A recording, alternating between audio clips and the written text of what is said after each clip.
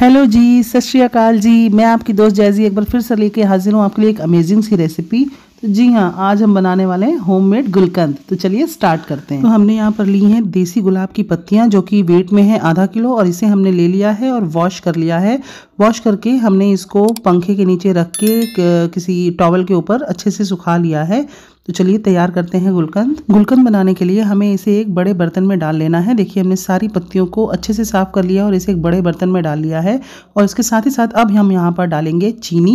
तो आधा kilo petals में हमने पचास ग्राम चीनी ले ली है और इस चीनी को हम पेटल्स के साथ रब करेंगे। तो चलिए देखते हैं हम कैसे इसे रब करना है। तो हमें साथ साथ में लेनी है थोड़ी थोड़ी पेटल्स अपने हाथ में और साथ में लेनी है थोड़ी सी चीनी और दोनों हाथों में दबा के इन पेटल्स को हमें अच्छे से रब करना है।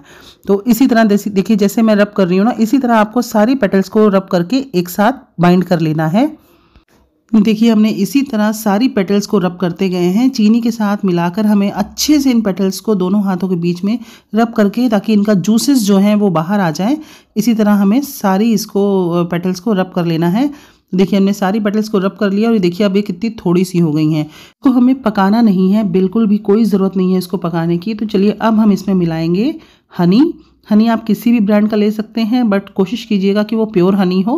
तो चलिए, हम इसमें हनी मिला रहे हैं अब। हम इसमें डालेंगे दो से तीन टेबल स्पून हनी जिससे कि इसमें एक अच्छा सा ग्लेज़ आ जाए। तो और बाकी जब शुगर इसमें मेल्ट हो जाएगी ना तो इसका ग्लेज़ एक अच्छे से ऑलरेडी आ जाएगा इसमें। तो चलिए, हम हनी के साथ इसको अच्छे से मिक्स कर लेते हैं।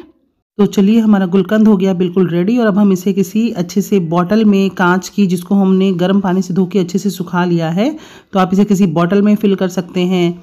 और इसको फिल करने के बाद हमें बॉटल को तकरीबन आठ से दस दिन, पंद्रह दिन तक इसको धूप में रखना होगा और हमारा गुलकंद बिल्कुल रेडी हो जाएगा बनके। ये मार्केट से कहीं ज़्यादा अच्छा गुलकंद है तो आप इसे ज़रूर ट्राई करिएगा और इसे ज़रूर बनाइएगा। आपको खुद से पता लगेगा कि ये कितनी बेहतरीन चीज़ है।